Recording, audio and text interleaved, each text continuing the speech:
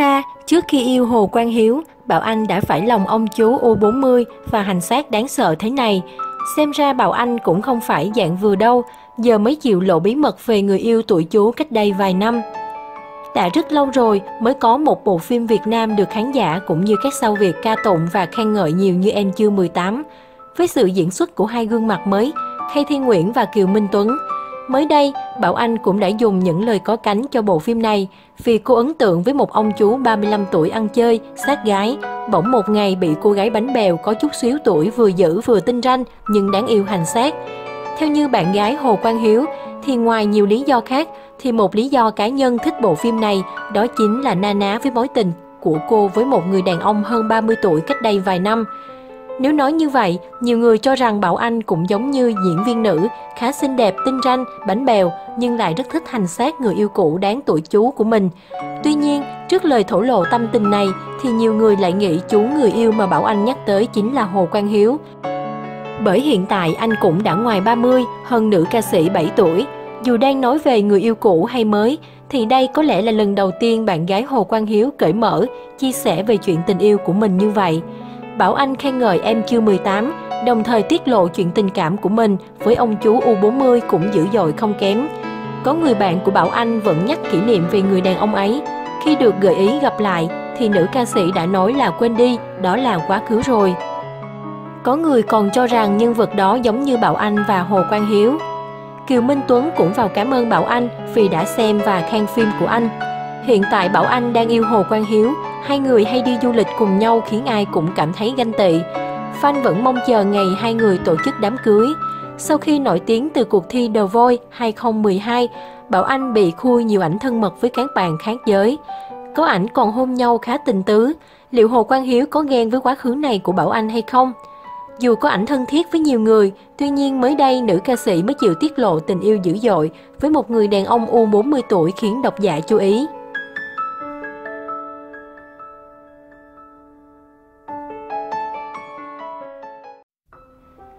Hồ Ngọc Hà phản ứng trước tin Chu Đăng Khoa quay về bên vợ. Mới đây, Hồ Ngọc Hà cập nhật trạng thái bất thường lên trang cá nhân trước thông tin đại gia Kim Cương quay về với vợ. Mới đây, Hồ Ngọc Hà chia sẻ trên trang cá nhân của mình, mình luôn rèn luyện sức mạnh và kỹ năng sinh tồn, mình vẫn luôn sẵn sàng ở dưới cho bạn lên trên, vì thực ra ở đâu cũng có giá trị của nó, ai càng nói càng dở, ai càng tính càng thua. Cuối cùng vì tớ quá đơn giản và rõ ràng nên các bạn cứ nghĩ phức tạp quá nên thôi. Một ngày của tớ quá nhiều việc để làm không hết cho bản thân, gia đình, công việc, học tập, rèn luyện, thời gian đâu nữa để giống hình ảnh một số bạn vẽ vời về tớ. Dòng trạng thái của Hồ Ngọc Hà nhanh chóng nhận được sự quan tâm đặc biệt của cộng đồng mạng. Thời gian gần đây, vợ đại gia Chu Đăng Khoa luôn cập nhật trạng thái lên trang cá nhân đầy ẩn ý về việc gia đình hội ngộ khiến không ít người cho rằng đại gia Chu Đăng Khoa đã quay về bên vợ của mình. Trước đó, tối ngày 27 tháng 4, dòng trạng thái của chị Vân Anh nhanh chóng nhận được sự quan tâm của cộng đồng mạng. Một người bạn của vợ đại gia bày tỏ cảm xúc. Chúc mừng chị, anh chồng có phước, quay về vẫn còn có vợ giờ cơm, còn ghẻ á mua cả đống giờ nằm trên đĩa cả rồi. Trước đó 3 ngày, vợ đại gia Kim Cương Chu Đăng Khoa đăng tải dòng trạng thái lên trang cá nhân đầy ẩn ý. À, tới giờ này vẫn còn cây cú lập Facebook ảo chửi chị, tha cho chị nhé, cuộc chơi kết thúc lâu rồi, đừng nói lung tung thêm nhục. Dù không nói đích danh, nhưng nhiều người cho rằng dòng trạng thái của vợ đại gia Kim Cương vừa đăng tải nhắm đến Hà Hồ, cũng như ngầm khẳng định Hà Hồ và đại gia Kim Cương đã đường ai nấy đi. Mối quan hệ Tây Ba giữa Hồ Ngọc Hà vị đại gia Kim Cương cùng vợ đã trở thành tâm điểm của dư luận suốt giữa năm 2015 đến tận năm nay. Thời gian gần đây, vợ của đại gia xứ nghệ đã không còn nhắc đến chuyện cũ, còn Hồ Ngọc Hà cũng thôi không nhắc đến những lùm xùm hay dính líu đến vị đại gia kia.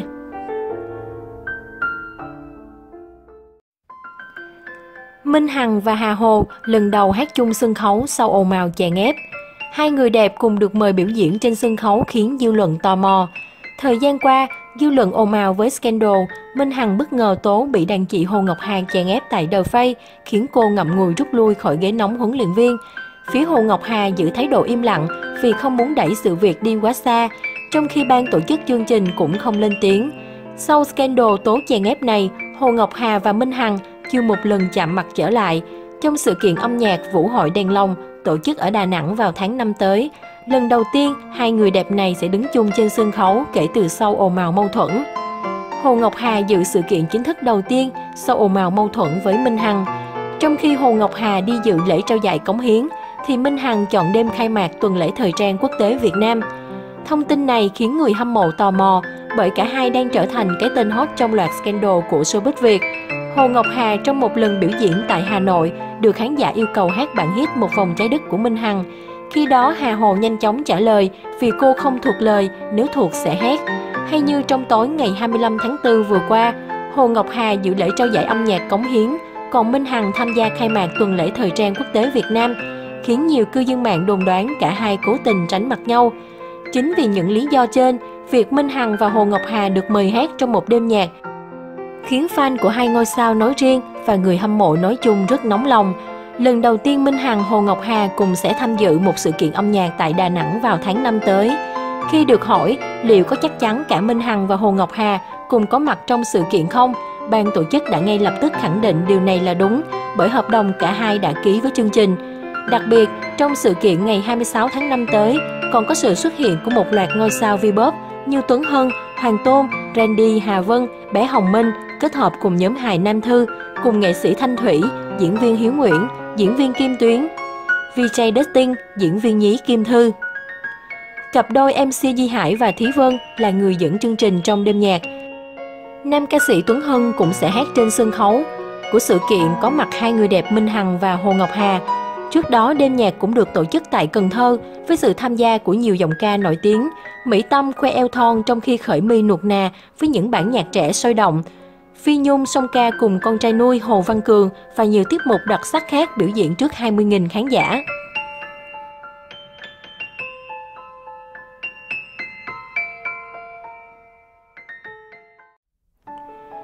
Không phải diễn hài nhảm, hét giá cách xê, đây mới là lý do thật sự khiến Trấn Thành bị cấm sóng. Nhiều người cho rằng, ngoài lý do phía nhà đài đưa ra, Trấn Thành bị cấm sóng là vì cách làm việc của anh. Việc Trấn Thành bị đài truyền hình Vĩnh Long cấm sóng, nhiều đồng nghiệp đã biết từ cuối năm 2016. Từ đầu năm 2017, Trấn Thành đã không còn được Đài Vĩnh Đông mời ghi hình. Những tập game show phát sóng từ đầu năm đến thời điểm này đều được quay từ cuối năm 2016. Đài Vĩnh Long còn được người dân miền Nam gọi vui là kênh truyền hình game show. Hiểu một cách nào đó, đây là nồi cơm chính của đông đảo nghệ sĩ khu vực phía Nam. Bởi vậy, Trấn Thành chắc chắn không dạy gì khi hét giá với người gần như trả lương nuôi sống anh hàng ngày. Nhiều người cho rằng đằng sau lý do phía nhà đài đưa ra Trấn Thành bị cấm sóng là vì chính cách làm việc của anh. Trấn Thành mắc một cái tội rất lớn khi làm việc, đó là chảnh. Khi Trấn Thành còn dẫn chương trình Hãy xem tôi diễn, anh đã để lại nhiều ấn tượng xấu cho ekip. Theo lịch là 9 giờ sáng sẽ quay, nhưng chờ mãi không thấy Trấn Thành đâu. Khi biên tập gọi điện cho Trấn Thành mới biết anh đang ở Nha Trang. Nhưng điều đáng nói là Trấn Thành trả lời một cách bình thản và tự nhiên, không hề tỏ ra áy náy với cả trăm con người lớn bé đang ngồi đợi mình ở trường quay. Điều đó đã khiến nhà sản xuất soi máu. Nhiều nghệ sĩ cũng cho hay bệnh ngôi sao của Trấn Thành tái diễn thường xuyên và liên tục ở nhiều game show khác. Không những thế, Trấn Thành còn mắc bệnh yêu, phô trương khiến nhiều đồng nghiệp bức xúc. Cách thể hiện tình cảm thái quá của anh với Harry Won khiến đồng nghiệp nhìn mà phát ngượng. Hãy đi quay với nhau ở đâu, Harry và Trấn Thành đều quấn quýt bên nhau. Khi Trường Giang làm show Chàng hề xứ Quảng 2, kết thúc chương trình, ekip thực hiện live show rủ nhau đi ăn, nhưng mọi người đỏ mặt bỏ về vì Harry và Trấn Thành tự nhiên âu yếm như chốn không người.